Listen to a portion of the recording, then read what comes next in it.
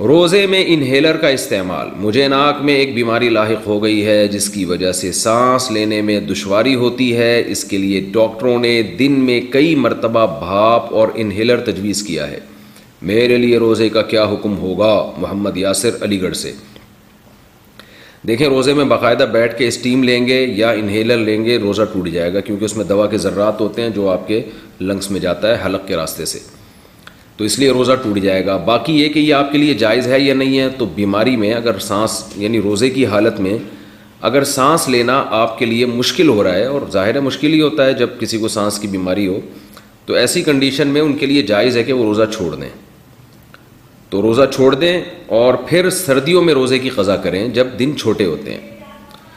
याद रखें कि जिनको बीमारी की वजह से रोज़ा छोड़ना जायज़ है ना तो वो जायज़ तो है, मगर ये कि वो फ़िदिया नहीं देंगे, बल्कि रोज़ा की कज़ा करेंगे।